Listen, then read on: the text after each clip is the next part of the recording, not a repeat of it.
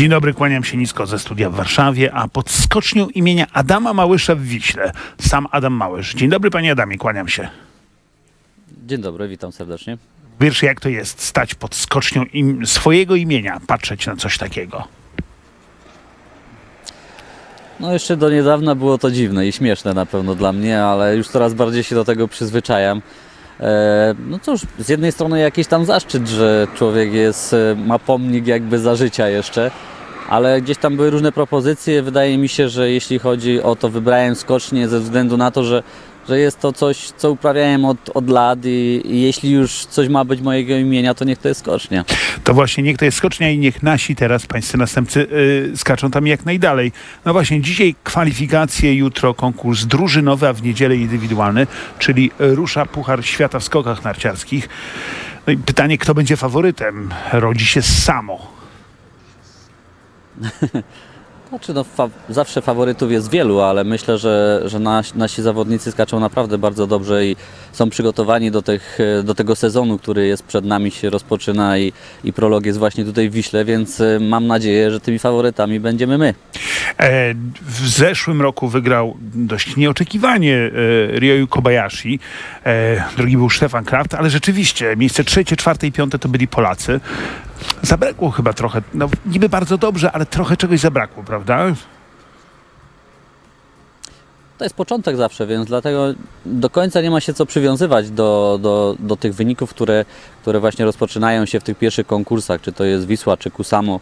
To jest takie trochę przetarcie i zobaczenie, jak, e, w jakiej dyspozycji są e, inne grupy, więc dlatego każdy mocno się koncentruje, ale też jakby nie, nie przykłada do tego w 100% takiej, takiej wagi, jeśli tutaj, tutaj coś nie wyszło. Ale u Pana było różnie, bo Pan potrafił wygrywać, a potrafił też być dość daleko w pierwszych konkursach. Od czego to zależy właściwie? Od formy, od szczęścia? Ja myślę, że od przygotowania przede wszystkim, tego jak, jak to przygotowanie mnie, przebiegło prze, w, lecie, bo to jest tak, rozpoczyna się na, na wiosnę dosyć z mocnym przyputupem, później jest lekkie odpuszczenie, bo jest letnie Grand Prix i jesienne przygotowanie jest znów mocne. I jeśli zdążysz się zregenerować do tych pierwszych startów, to jest wszystko ok, ale jeśli tej regeneracji dobrej takiej nie było, no to potrzebujesz jeszcze więcej czasu, żeby wstrzelić się później w te zawody i sezon jest bardzo długi, bo trwa do końca marca, więc e, trzeba wziąć to również pod uwagę, że e, trzeba rozłożyć jakby te siły na cały sezon. No i zobaczymy, jak naszym z tym pójdzie. Panie Adamie, jak patrzę na listę naszych reprezentantów, to jedno, co się rzuca w oczy, to ich wiek.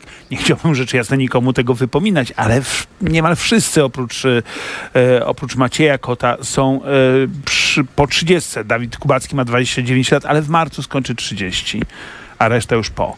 Czy to nie jest tak, że no, młodzi gonią, młodzi gonią, tylko w Polsce ich jakoś niewielu? Myślę, że większy problem mamy właśnie w tym wieku takim średnim, gdzie zawodnik z wieku juniora przechodzi do wieku seniora, bo e, jak zobaczymy na listę startową, też mamy paru e, juniorów tutaj, ale cały czas tych seniorów nam brakuje, tych młodych seniorów. E, ale myślę, że też ten wiek w sporcie, ogólnie w sporcie, wiek się bardzo przesunął i są zawodnicy, którzy skaczą po 40, jak Noriaki Kasai. No tak, Noriaki Kasai. Aman, który też już nie jest młody, więc myślę, że z tą ekipą, którą mamy, jeszcze spokojnie możemy do, nie do tej, która jest przed nami w Chinach Olimpiady, ale kolejnej jeszcze uderzyć. To piękna, e, piękna perspektywa. E, nowym trenerem polskich skoczków jest e, Michal Doleżal. Czy on jest podobny do swojego poprzednika, Stefana Horngachera? Był jego asystentem, więc kadrę zna, ale czym się różnią? pod kątem jakby treningu i, i, i, i, gdzieś tam e, wyszkolenia jest bardzo podobny. On robi bardzo dużo rzeczy, które, e, które robił Stefan i kontynuuje to. Dodał też jakby swoje elementy, które jak był asystentem, no ciężko mu było jakby e, narzucać coś Stefanowi. Teraz wprowadził pewne elementy, które, które myślał, że będą dobre i wydaje mi się, że, że były dobre. A pana Jeśli na przykład nie korci, żeby zostać... Mhm Pana nie korci, żeby zostać Jeśli trenerem? są zupełnie inni. E, na razie nie, spełniał się w swojej funkcji, ale Dyrektor jak tylko gdzieś tam sportowy. mogę i coś widzę, to podpowiadam. E, No, ja bym się śmiał, podpowiedział pan, musiałbym się zdegradować, bo teraz jestem nadtrenerem. podpowiedział pan nowe buty, znalazł pan producenta. Czy one rzeczywiście są tak ważne? Czy one mają pomóc e, polskim skoczkom aż tak bardzo, że to będzie jakaś znacząca różnica w, w skokach? Ja myślę, że w skokach może nie, ale na pewno w komforcie, dlatego że e, my do tej pory zamawialiśmy, była tylko jedna firma i oni są jakby e, monopolistami na, na cały rynek skoków narciarskich, więc dlatego, żeby zamówić buty trzeba z półrocznym wyprzedzeniem i zamówić przynajmniej dwie, trzy pary, bo tyle zużywa się w ciągu jednego sezonu, więc dlatego to był zawsze i odwieczny problem z tym. I takim teraz- celem przede wszystkim było to znaleźć firmę, która u nas będzie to robić i nie będziemy mieć z tym problemu. Tak, to jest polska tajemnicza broń wynaleziona przez Adama Małysza. Buty. Panie, Ja nie wiem, że taka tajemnicza to może tak. Czy to będzie tak? Dobrze. No, e, panie Adamie, do, pan jest dyrektorem sportowym również mm, od kombinacji norweskiej. Przypomnijmy, że kombinacja polega na tym, że się skacze i biega naraz.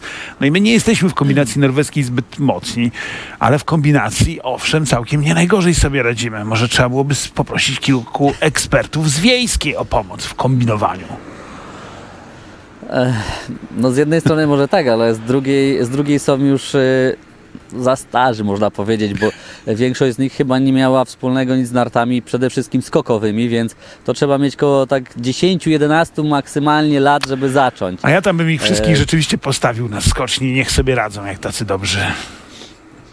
No powiem szczerze, że y, raz zawsze każdy, każdy może raz spróbować, ale jak się to skończy, to nie wiadomo. E, Pytanie od eksperta. Eksperta naszego, e, e, profesor Zdzisław Krasnodębski, eurodeputowany, jest fanem skoków i on pyta, na czym polegają kłopoty z najazdem? Sam ma inne skojarzenia, twierdzi, że my mieliśmy bardzo dobry najazd w 2015, ale teraz mamy kłopot, mówi o PiSie. Ale na czym rzeczywiście polegają kłopoty z najazdem? O, to jest trudne pytanie, naprawdę. No, Kłopoty ekspert z najazdem zazwyczaj jest, zazwyczaj jest tak, jak jest źle najazd przygotowany lub e, zawodnik przyjmie złą pozycję, czyli coś mu przeszkadza i później nie może się odbić z progu. I wtedy mówimy, że to jest kłopot z najazdem. No właśnie, ale dlaczego? To znaczy, nie wy- wydawałoby się, tam są tory, każdy jedzie tą samą drogą, ma tak samo dobrze posmarowane narty. Co to jest? Jakaś magia? E, Zazwyczaj jak nie, ma, nie jest się w formie, czyli nie ma stabilności takiej, bo jak, jak, się, jak się ma stabilność, jest się w formie, to ka, za każdym razem przyjmuje się taką samą pozycję e, na rozbiegu. Ale jeśli nie ma tego, no to gdzieś tam dochodzą różne elementy, które przeszkadzają i raz się jedzie tak, raz wyżej, raz niżej, raz gdzieś na jednej nodze, na drugiej i to Panie powoduje, Adamie- że później jest to najważniejsze. Nie da się odbić z progu, poprawnie. Musimy kończyć, więc pytanie, czy, y, czy rajdy samochodowe to dla pana zamknięty rozdział? No, nigdy nie jest zamknięty, ja jestem wielkim fanem. No, gdzieś tam e, rajdy są tak potwornie drogie, że, że brakuje na to finansów, więc Mhm. poszedłem w coś innego, co mnie też cieszy. Szachy. Ale cały czas gdzieś tam rajdówka, treningówka stoi w garażu, jak A właśnie, czym pan okazja, jeździ? To, Czym pan jeździ, jeśli to nie tajemnica? e, teraz jestem ambasadorem Mercedesa. Ambasador Mercedesa Adam Małysz je- y, jest i właściwie był już państwa i moim gościem. Ostatnie, zupełnie ostatnie pytanie. Kto wygra dzisiaj? Kto wygra dzisiaj? Tak. Najlepszy. Znaczy dzisiaj będą kwalifikacje. Dobrze. Kto wygra w niedzielę? O. W niedzielę wygra naj, najlepszy ten, który będzie w nie, niedzielę najlepszy. Czyli niekoniecznie dzisiaj. No dobrze. Trzymamy kciuki za naszych. Bardzo panu dziękujemy za rozmowę. Kłaniam się nisko. Do widzenia Dziękuję państwu bardzo. i do widzenia panu. Dziękujemy i trzymamy.